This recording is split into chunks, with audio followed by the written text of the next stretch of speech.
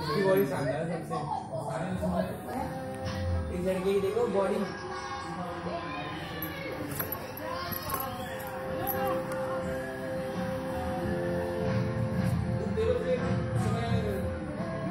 मेरे पास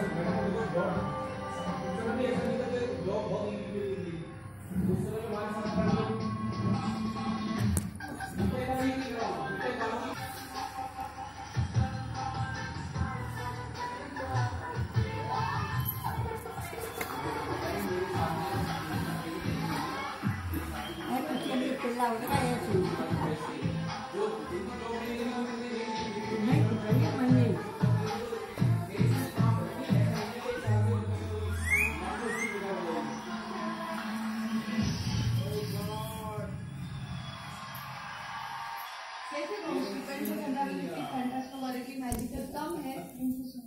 हतनादम विशेषम सर्वश्रेष्ठ अति उत्तम भी